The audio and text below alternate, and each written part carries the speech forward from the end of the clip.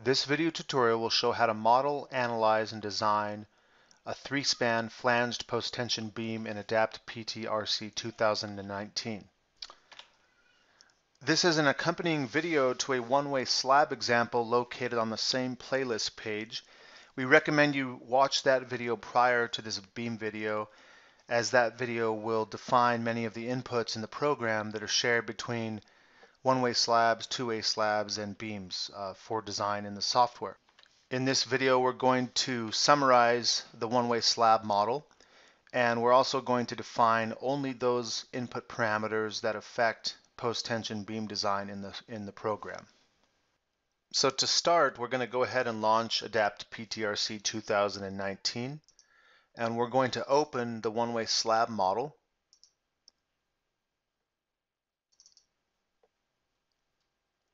In the PT input, we're going to use the option to edit data.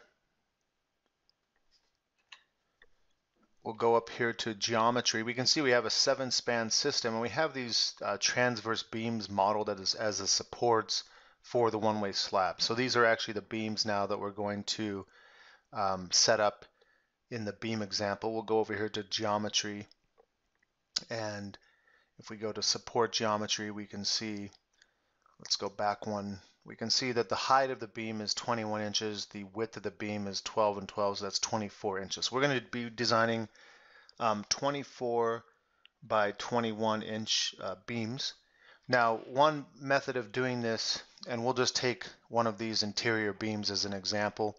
One method is actually to use the reactions that you solve in the one-way slab and actually apply those reactions as a line load on the on the effective or on the on the T-beam. Another option would just be to use the tributary. So we're going to model a T-beam which is 27.5 um, feet as the flange. This is the full flange and we'll model the 21 by 24 beam with that flange. The program will calculate the, the B effective and use those properties for the design of the beam and for the calculation of stresses, etc. So um, just wanted to point out that if you use the reactions that are solved for in the one-way slab example, those could actually be used as line loads um, because this beam is actually, you know, three span. We might have a column, column.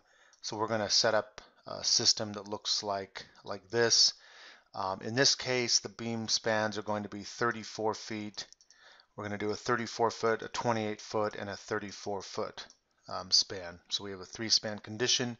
We're going to assume that the columns are 24 inch square columns, 10 feet high, that's the height of the column, and we're going to um, check the beam design with columns below the, the, the structure versus below and above. So there's options for both. We're going to assume only supports below.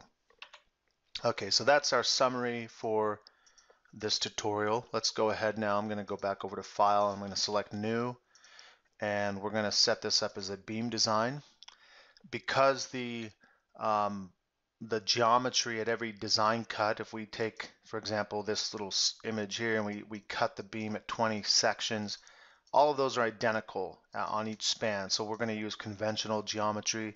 The two-way slab example that's part of this series will show how to input segmented geometry. So we're going to be using conventional, it just means that the tribute or the geometry per span is prismatic. Um, we will use effective width in bending. This just means that the program will calculate the effective width for us based on the design code that we select. So let's go ahead and we'll use the same design code here, ACI 31814 for the design of the beam. Uh, these were defined in the one-way slab example. The only option here um, that might look slightly different might be the ability to increase moment of inertia over support equivalent frame method um, is inactive. That applies only to the two-way slab selection. So let's go ahead, say next. We're going to leave those uh, design and user settings alone. We're now going to input the geometry um, of the of the beams. So we'll go to a three-span condition. These are T-beams. They're prismatic. Notice if you try to change the prismatic to non-prismatic, that's actually locked out because we're using conventional input and then we could change this to any of these sections. These two sections are inactive only because we're using effective flange. When you turn off effective flange, then you have the ability to model the I slash L or the extended T section. So I'll show that. If I come back here to um, the general settings, I'll select no. And if I come back into the geometry, now I have the ability to select those two um, section types. Let's go back to general settings. Notice you can select the pull down menu options to go to any of the input fields or we can use the next and back buttons in the wizard to go to those fields. We'll come back over here to our system. We'll do a 34, 28, 34 foot span. The um, the width of the flange is going to be 27 and a half feet. That's 330 inches. Okay, the height of the beam is um, 21. The width of the, excuse me, this should be, the B should be 24, and this should be 330. Okay, the height of the flange, I believe, is 7 inches from the one-way slab example. So we have something set up like this. The structural view will come into focus. If you hover over any of the different um, spans, you can see that at the bottom left of the structure view window, you see some of the characteristics of, of the geometry of that span. So for the reference height, we're going to set this equal to 21. I'll set that equal to the height of the beam only because I want the, um, the control points for the tendons to be referenced from the soffit upward as positive values. If I go to a top view, we can see that um, the 330 inches, half of this, the multiplier left and right, half of it goes to the left side, this is left, half of it goes to the right side. So this is um, this is going to be 165 inches to the left, 165 inches to the right. This allows you to, you know, if I, if I had an opening here, I could I could input the geometry here and then shift it vertically using using these multipliers. So, and that's that that will be shown also in the two-way slab example if you check out that video uh, in the same playlist. All right, we'll go to next. This uh, will show the effective flange uh, calculation. So if I stretch this out and I'm using ACI 313, these are the effective flanges that uh, width that, that is calculated by the program. You can do user input and override these values if needed. This also uses European code if you wanted to use that code for some reason when you're selecting a different um, international code in the software. We're going to use lower columns. The column height we said will be 10 feet. Below it's going to be a 24 by 24. Okay, B is the dimension in this direction. D is the dimension along the span. That's the dimension of the column. DC represents a circular, just the diameter of the column, and then this percentage will allow you to modify the, the stiffness of the column. 100% uh, is full stiffness. Less than that would obviously be a reduction in the in the column bending and axial stiffness uh, in the solution. Okay, the left edge and right edge, those apply only to two-way slabs. This dictates how the program handles the punching shear check. Um, we're going to assume here, let me go back to this view. We'll assume that we have lower column, this is um, lower column near, lower column far. This is the near side, this is the far side. This just dictates the, the condition, the boundary condition, so it's fixed, pinned, or roller. In this case, we have fixity at both top and bottom. Um, and then the program will use cutoff lengths at face of column to calculate reinforcement and strength demand and also stress when we have a post-tension system. So we use a support width is 24. That's the dimension in, in the D direction. This is D. If you wanted to override the 24 inches, you could deselect this and then input the values here in those cells.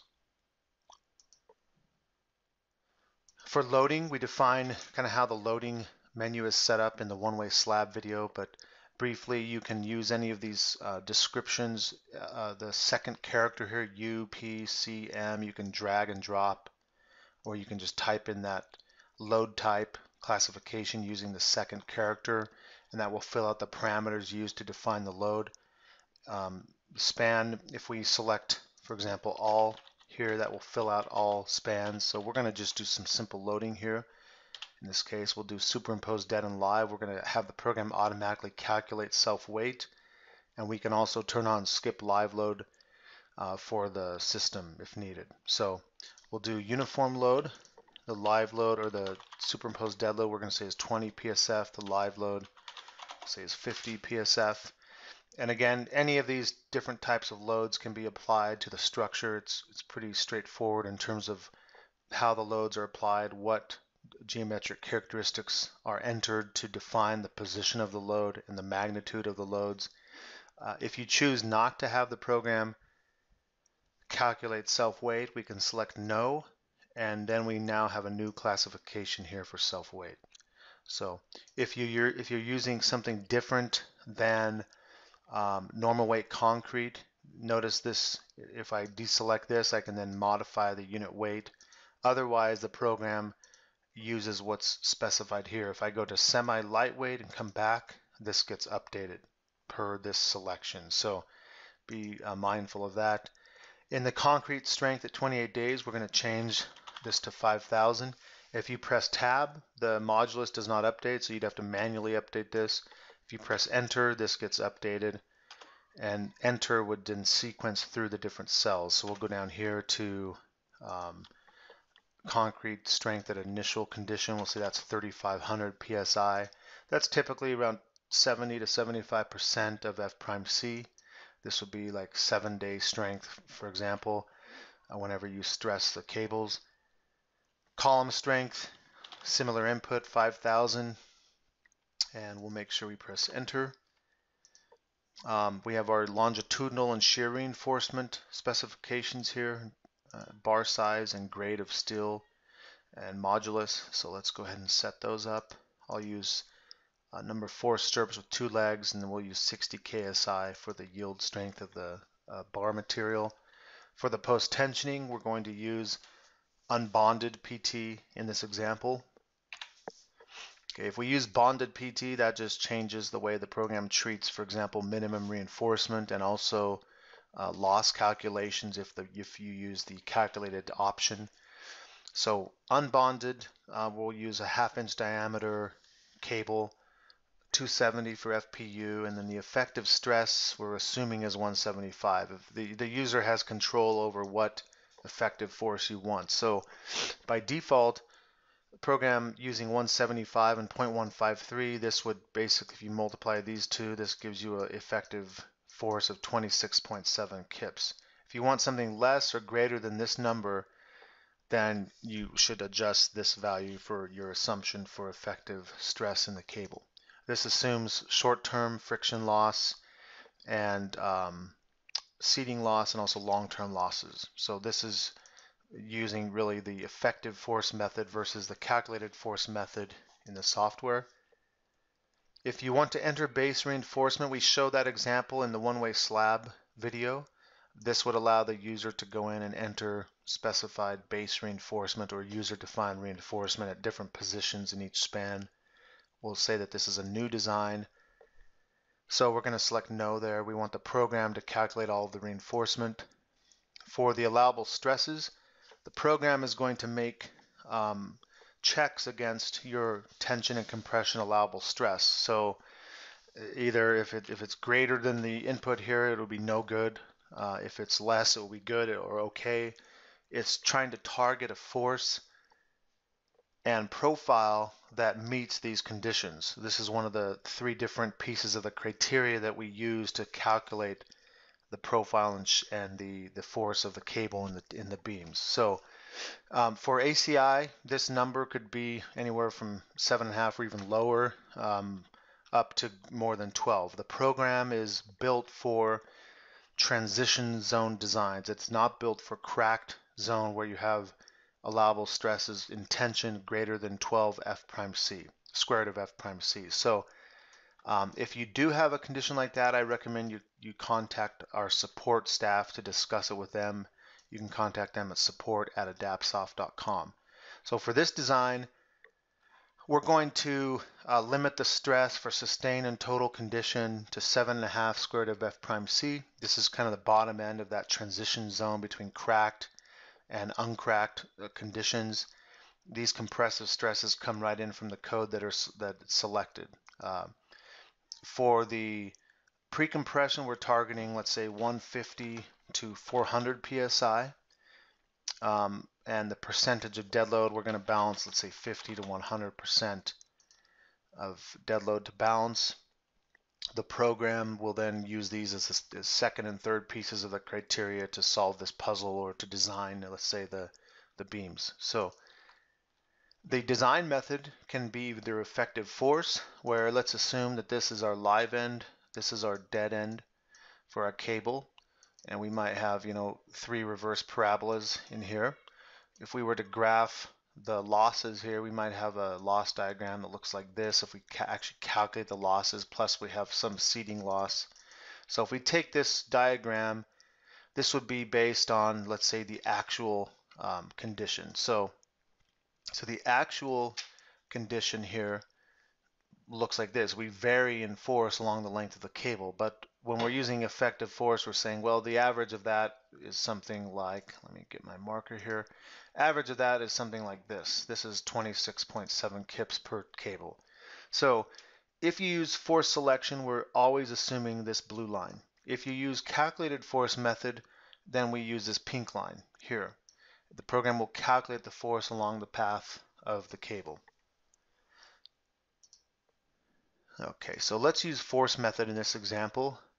If you do if you do select calculated, notice this then expands into different parameters for the calculation of the losses for the cables in the in the tendon. So, and then in the what we call the recycler window, you have the ability then to um, use either method when this option is selected.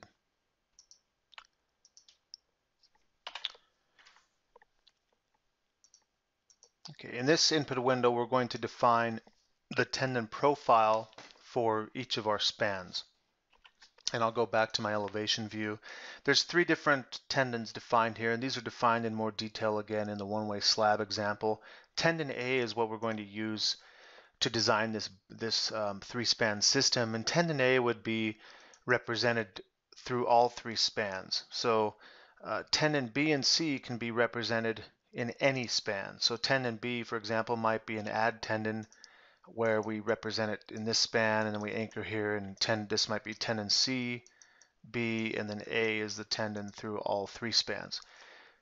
In this table below we define the different shapes of the tendons. So we're going to be using a reverse parabola for tendon A, B, and C with the inflections uh, inflection points x1, x2, x3 over L for um, for defining that parabolic shape. Uh, if we do use tendons B and C, and the one-way slab example actually shows this in its design, you then can set up where the tail anchors uh, behind the support here based on this input here and, and whether or not it anchors at centroid or follows the shape of the parabola, and that's defined in these inputs here. So uh, for this example, we're going to do something a little different than we did in the one-way slab example. We're going to just use tendon A only. That actually might mean that we we over design span two, but since we have a majority of spans which are you know longer than span two, the the the force necessary to meet the required design inputs or parameters are going to likely be dictated by span one and three. The next input is the cover. Um, for this beam design, we're going to use uh, this is criteria um, cover and also CG for the post-tensioning. So the CG from top fiber, we're going to use 2.0 inches, and then from bottom we'll use two and a half. For the cover, for the reinforcement, I'll just use one, top and bottom. The next option is uh, defining how the program basically lays out the reinforcement needed that supplements the post-tensioning. This is the cutoff lengths for over support and in span for minimum reinforcement and then also the the extension of bars beyond point of zero moment or point of where the moment is or, or the area of steel is no longer needed for strength design. Um, uh, it's beyond, the, for, for example, this is 12 inches. So if I have a moment diagram that looks something like, like this, and let's say we're designing this span here for strength and we need reinforcement, the program would find the points uh, of inflection or zero moment it would also find basically where the moment gets cut in half about this curve. And we, we would need then long bars. So one long bar, if I project this down, this bar here would be, I shouldn't call this long bar. This is, let's say, the bar that meets the maximum demand. And then we might need additional bars here where this area of steel 1 plus area steel 2 meets this moment. At the cutoff point, we extend this by this distance 12 inches, and then the extension for this longer bar here meets this moment uh, at this location here. So the program's algorithm does some cutoff of the bars, and you may see multiple bars in a span based on this. So this, this is just applicable to the extension of the different bars, short and long, that the program is calculating.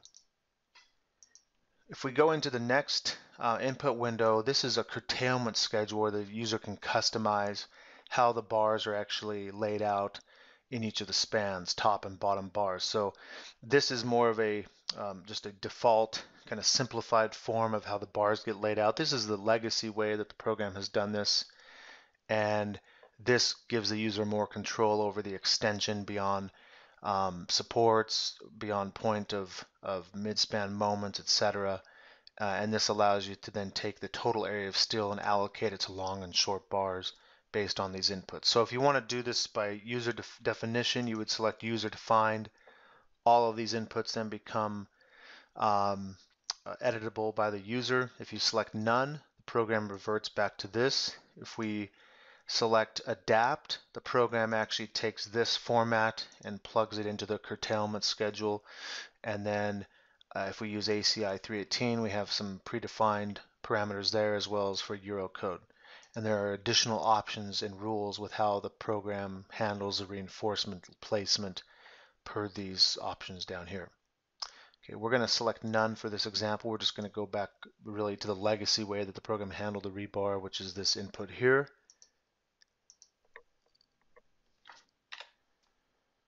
Finally, we can uh, determine the different load combinations at strength level and also service level. So in this case, we're, we're designing these as gravity only members um, for these beams. We have a couple of uh, strength combinations, including dead load, live load, self weight, and also the hyperstatic or the secondary actions from the post tensioning, and also service combinations that we'll use to evaluate the stress and deflections. We also have a specialized combination here called initial, where we're considering the self weight and, and 1.15 times the post tensioning for evaluation of the initial condition when the force is transferred into the member. And this will help um, help us check that allowable 3 times square root of f prime ci in tension. If that's exceeded, the program will add rebar to control the uh, the cracking initiated by that overstressed condition um, for initial. So we'll go ahead and select OK. I'm going to save the file.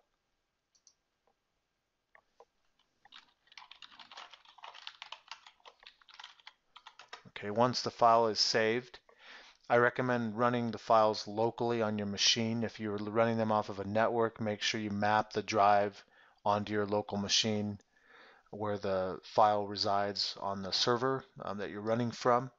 But once we're done entering the data, we're going to go ahead and we can use this icon to save, execute, or just simply select execute. And the first part of the process really is for the program to generate a solution for the post-tensioning. And this will um, result in ending up here in this PT recycling window. We call this informally the recycler. And so we went through a lot of the details for this in the one-way slab example. One-way slabs and beams are, are considered quite uh, similarly in the program. So much of what you see here is applicable also to that one-way slab example. In this case, there's just a heads up dashboard here that shows us um, a few of our different checks based on the parameters that we input. So for PT force, min and max, which was 150 to 400, P over A. This is just the precompression in PSI. You can see that the program has determined we need a force of 397.3 kips in the beams. If we were to break this out on a per unit width per foot, we would need you know 37.8 kips per foot. This is over the flange.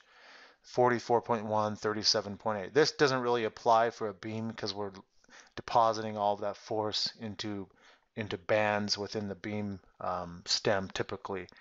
Um, we have 15 total strands in the beam.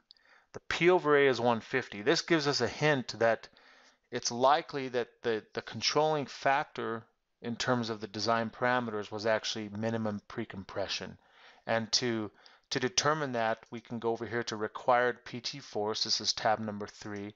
And we can see the required force to meet minimum P over A was right around 397. The required force to meet the allowable stresses was only 295. And then balance loading was around 210 to 11.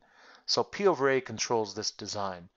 The percent of dead load that we're balancing is right at uh, close to 100%, just below. So that, that means that the balance loading min and max, that was 50 to 100. This is okay. The stresses for tension and compression are okay for service. So if I go over here to tab 4, we can see for sustained, we actually have slight tension in the outer bays. This is a coefficient times square root of f prime c. This is 0.07, 0.8 the allowable was seven and a half square root of f prime c. So this beam is almost fully pre-compressed at the sustained level. At total load, we have a value of around three square root of f prime c. So this, this again is satisfactory. At initial condition, because the beam may be oversized for the loads on it and the spans, um, it's pretty common where you where you meet these sustain and total conditions fairly easily that initial could potentially exceed allowable because we're actually providing too much post-tensioning in the beam which causes some um, uh, stress at the opposite side of tension face in the service total condition but you can see here these exceed three so the program even though this says no good that's just an indication that the stress is no good at that initial condition, the program will add reinforcement to meet that requirement per the per the design code selected. Um, so here we're using tendon A only. If we go to graphs, this will show this red tendon is tendon A. This is the profile. This is some some of the stress graphs, and you can change between top and bottom fiber, total, sustained, etc., initial, and we can check stresses. You can see for sustained uh, top fiber, it's completely in compression, and bottom fiber, there's slight tension here and here. The gray shows the permissible envelope of tensile stress in the member. If we flip this back over to total, that stress grows because we have more live load on the spans, those, those end bays, and there's a little bit of tension in the midspan. So this gives some good information in these graphs. What I wanted to mention about the, the, the actual tendon shape tendon B and C are no, not currently active. If they were, we would see those in blue here. And if we wanted to introduce those into the design, what I can do here is I can say, okay, I want to use tendon B. Well, tendon B is defined in tab number five. Tendon B, if I press control and hold that down, I can move the tail for tendon B. Or you could enter it directly in this table. This is a fraction of the span length. So tendon B is basically an add tendon in the left span, tendon C is in the right span. If I enter a force for those tendons, I'll say I want 50 kips in tendon B and in tendon C, and maybe I want 50 kips here. You'll notice that the total force A plus B plus C changes in this block. So this is based on all tendons summed up, 447, 397, 447. This just shows you the current tendon that is selected over here. All right, so, so now once you make a modification, we can recycle and the program will update the results. So now you can see in the graphs, we show those blue tendons. We show a graph also of the force, um, the, the effective force. So we have a decrease in the center span, that's 397. The two outer spans are 447. And this allows you to interactively make modifications to the system, including making modifications to the control points if needed. Left top, center, right top, this is span one, and that just repeats for each of the spans. So we really don't need those, those two add tendons. I'll go back and I'll reset those to zero. Those are not required in this case. I'll recycle again. If you ever exit the recycler, come back into the recycler and you want to bring up the previously saved solution, you can select recall and then recycle. You don't have to enter the data again um, in this dialog. Once you uh, feel satisfied with what the, what the program has produced here or satisfied with the modifications you've made and then having recycled it, we're going to exit. Once we exit, the program will calculate reinforcement for serviceability and strength, and also it would calculate the deflections. This comes back into what we call the shell of the program. And now we can look at the report in a tabular format using what we call a report generator. We can just look at raw graphs for the solution. This is really on a load case basis, an envelope of load combos. And then we can also look at a summary. This is both graphical and tabular. So we're going to use the summary first. If we go to the summary, this, this allows us to, to check different combinations. Min and max would indicate that skipping is active. So we have you know, a maximum and minimum range of results for the live load that was placed in the different skip patterns.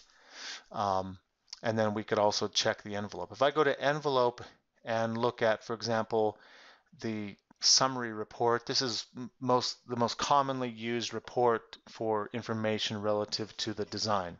So this summary report would show us the the geometry in elevation, the, the top reinforcement. So this is the reinforcement in the beam needed at the top. Bottom reinforcement. If I change this to a different combination, this will reflect what's required for that combination. So for example, if I go to initial, we saw we had initial overstress. We actually need some bottom reinforcement at supports um, due to initial. So at, uh, for example, at an interior support, because we have so much post-tensioning and very little counteractive dead load, we actually develop tension on the bottom fiber at that initial condition so that we need this rebar to control that cracking that may occur under that temporary condition. And that's added to the design. It's included as part of the envelope uh, here that we generated first. So this is our envelope. Um, in the envelope, we can also see we have the the CGs for tendon A, B, and C. B and C are blank. We didn't use those in this design and also the force in each span for this beam. We have uh, some graphical results for the amount of steel. This is just area of steel at different locations along the span. Required versus provided. Provided is this blue line. Required are the different tick marks, the different sections for the beam. Shear reinforcement, this just gives a summary. So this kind of indicates where you need the shear reinforcement and the spacing. For more detailed shear reinforcement output, I would recommend using the report generator. I'll show where that is as that example. And then we have additional um, design parameters, quantities. If you go to the second page, we also can pull up the deflections for each span. This considers long-term deflection or creep multipliers assigned to the sustained loads uh, plus additional um, deflection due to incremental live load under sustained and total. So the maximum deflection here for this uh, beam system with consideration of long-term uh, multiplier is about 0.14 inches. So this, this is reflective of the report you would also be able to produce in the tabular report uh, under block number 14. That's uh, BUILDERSum. Also for BUILDERSum, if you, for example, pull up a service combination, you could check stresses. That's something that is sometimes valuable to evaluate. You could also check uh, moment diagrams, shear diagrams for any of the combinations selected here. If you close BUILDERSum, which is just a submodule of the program, you can also produce graphical results uh, based on just the raw outcome of the design. We have bending moments for different load cases and the envelope of combinations, shear, deflections, and also the PT required versus provided, and again, the geometry of the system. And finally, if you want to, wanted to produce a tabular uh, report, we could go to the report generator This allows us to customize a report or use a predefined report based on level of accuracy or level of detail rather. So we could choose, for example, a concise report, which just preloads the report with these different settings. If I choose concise, or I could say I just want certain blocks of that concise report. The most common report used is probably this compact report, which breaks the results really into left, center, right per span, more zonal type results versus detailed results at each section. Detailed results would be uh, pertain or they would pertain to this option for tabular reports detailed. So this would give you results at every 20th point along a span uh, for the for the design. If we go to shear reinforcement, for example, and I'll even do the detailed shear here. And then I might call this, I want to save this maybe as a, as a default or save the selection. So maybe I want this to be a customized report. I'm going to call shear beam. We'll select OK. And that would then load into this pull down menu where you could recall it as needed when you um, when you create a report. I'll just go ahead and create that report just by selecting or having selected the shear for detailed and compact. This is going to allow us then to save the name of the report. The report will open as an RTF document in Word or whatever your word processing uh, program is set to as, as the default on your system. This is our um, report for shear along spans 1, 2, and 3. You can see this gives us requirements, spacing of shear, at each 20th point, and then the detailed shears um, breaks this out into each individual load case. So this gives the shear along 20th points for each individual load case in this example. The compact shear gives you the, the required area of steel and spacing based on the envelope of uh, strength combinations. So this is not broken out into individual load cases. This is just the envelope at ultimate level for the shear. And again, any, any report that's available in the report generator can be produced in this tabular format in this way. If you have any questions about this tutorial, please contact us at support at adaptsoft.com and please check the PTRC playlist that, that will include other videos that uh, may be of interest for uh, use of ADAPT PTRC.